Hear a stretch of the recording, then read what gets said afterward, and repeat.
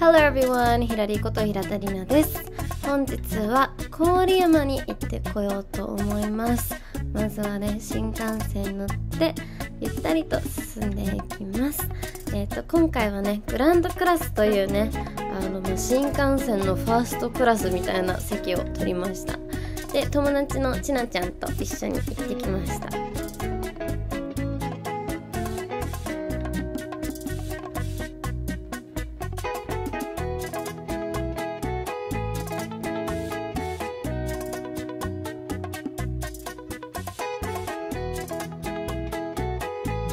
はい車に乗って向かうのは室内の釣り堀です。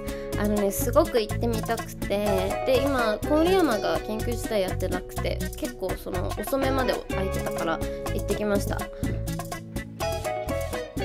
ちゃんとねあの感染対策もしててこうやって仕切られててあの、まあ、距離はあったんですけどすごくゆったりと楽しめました。でなんか餌もねそんななんかこう虫みたいな餌じゃなくて結構触れるような餌で結構まあ時間をかけて釣っていきます。はいそして早速1匹目釣れました。これは鯉ですね。鯉を釣れました。めちゃめちゃね元気でいっぱいこう動いてました。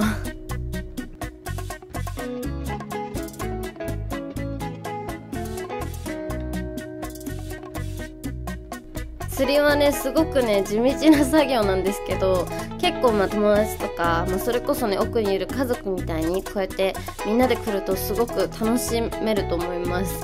でこれ室内だから雨降ってても全然大丈夫なんですよ。そして早速なんとこれサメなんですよ。サメ釣れるんですよ。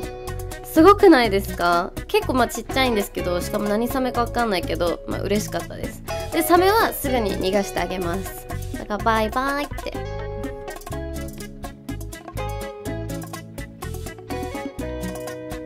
そしてなんと3匹目こちらねまたね鯉なんですけどめちゃめちゃでかくて重かったですこれ。